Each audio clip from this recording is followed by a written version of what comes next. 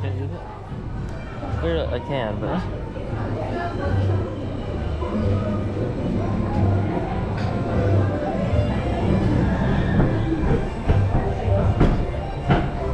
It what? I can't put this.